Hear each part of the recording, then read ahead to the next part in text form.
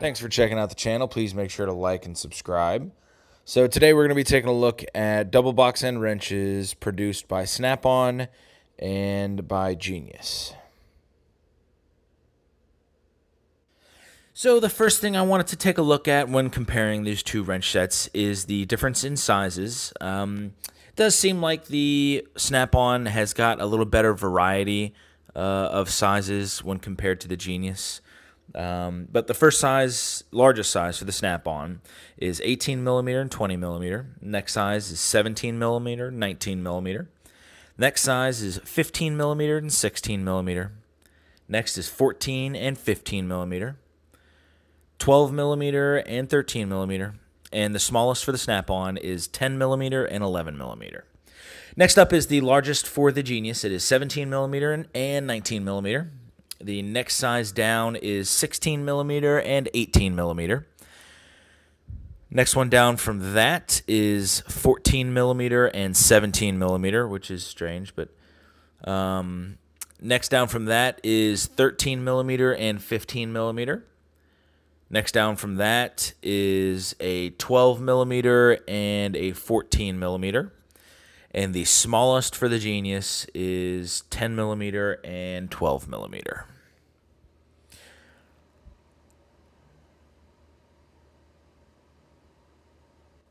There are a few obvious differences when comparing these wrenches to one another.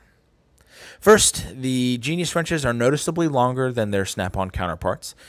These are the two largest wrenches in each of the sets, and the Snap-on measures in at 15 and a half inches, whereas compared the Genius measures in at a full 16.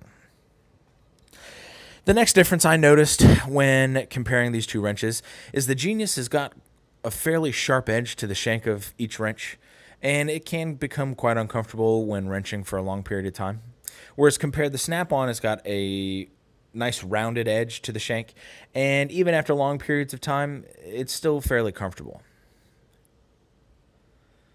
The next thing I noticed when working with these wrenches is the teeth on the Genius wrenches are not quite as aggressive as the snap-ons and every once in a while they do tend to slip on damaged or uh, corroded fasteners uh, whereas the snap-ons don't tend to do that. Uh, the teeth are fairly aggressive when compared to the Genius um, but not that big of a difference The shaft of the Geniuses measures in at 5 eighths of an inch, which is a little bit smaller than the Snap-ons at 3 fourths of an inch. And uh, the Snap-ons are noticeably heftier. Um, and like we all know, it's not just the length that matters, it's also thickness. So, knowing what I know now, the real question is would I buy the Snap ons or would I try to save a few dollars and go with the Geniuses? Well, that's not an easy question to answer but with the Snap-ons, you're obviously getting a product produced in the United States, and you're getting one of the best warranties in the business. But all of that does come with a price of about $300. And the Geniuses are produced in Taiwan, uh, and they do have a comparable warranty.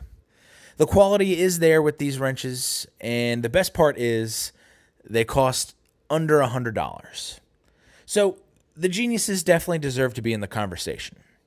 Not only that, but if I had to choose, I'd buy the geniuses. And the reason being is saving $200.